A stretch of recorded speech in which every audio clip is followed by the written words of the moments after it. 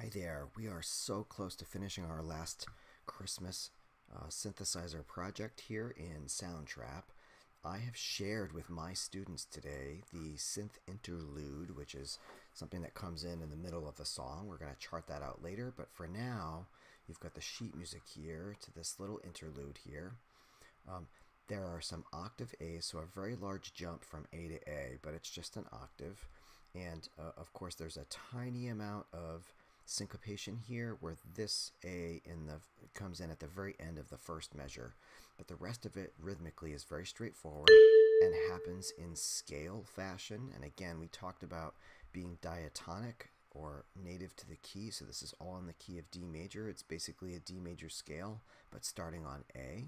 A, B, C sharp, D, E, D, and where there aren't scale notes, it's usually ju usually just tiny jumps here, just a little skip of a, of a distance of a third is what we call that, except for this octave at the beginning. Any other skip is just a third, especially, for example, when we go A, F sharp, D, B, and G on the next line. That, of course, is just a G major 7 uh, arpeggio. And then we have this next little arpeggio here, which is an A major 7 arpeggio. So those are just two of the chords in the song.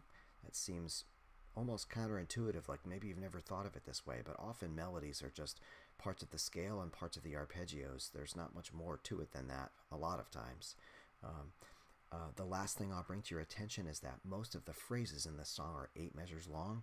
This one happens to be nine measures long. It just sort of uh, leaps over the, the boundary and finishes on the on tonic or on do.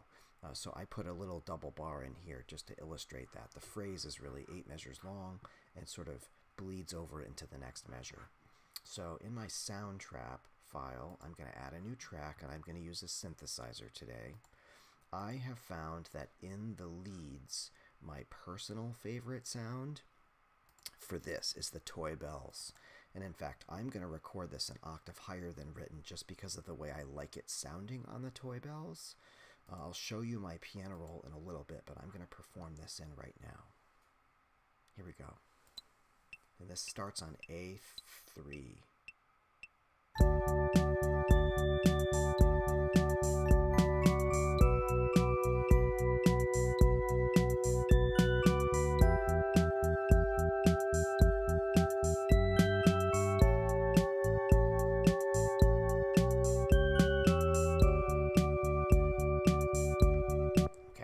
So that was, I think, lucky that I got that in one take.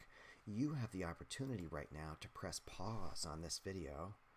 And of course, I will quantize this. See, for the most part, our smallest entity here is an eighth note. So let's quantize this to eighth notes. And just check and make sure that they line up. The most important thing is that syncopation in measure one so we want to make sure that the last A of that measure comes in on the and of 4, but otherwise this should be good.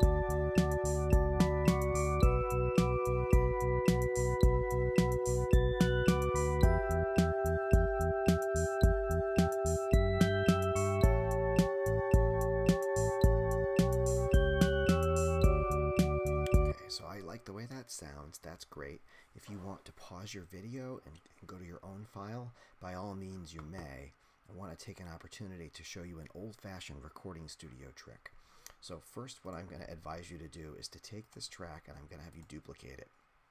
Okay, then we're going to mute out the original track, the one that we just recorded. Um, in, in the instrument panel, you have a couple options here. We're going to take pan, and pan turns the sound in our left ear or our right ear. So we can have it in one ear or the other ear, or if it's right in the middle, in both ears.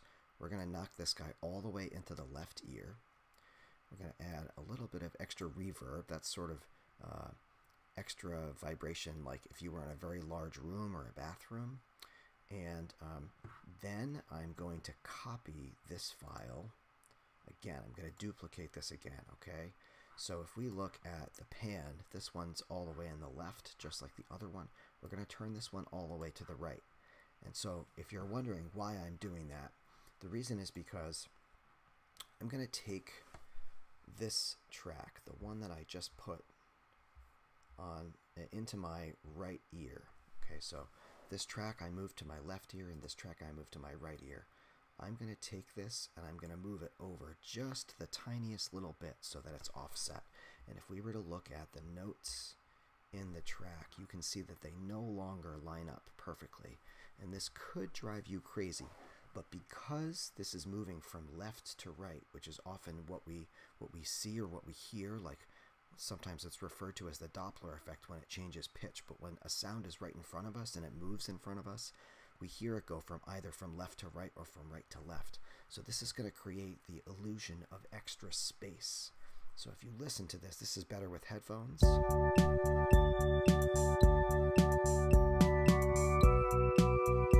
if you compare that, if you mute both of those tracks and now listen to it in the original form where it's just in both ears.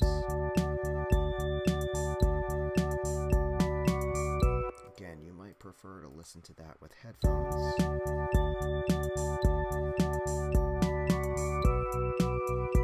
But it just has a little bit different effect. It opens up the sound.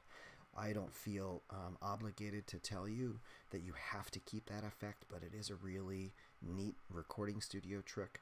Uh, of course, it would not go very, very far here. You can't have this delay be the value of like an eighth note. That would be too far probably, but just a fraction of a second is enough to create this open illusion. Okay, make sure you save your work and uh, get to it. Good luck.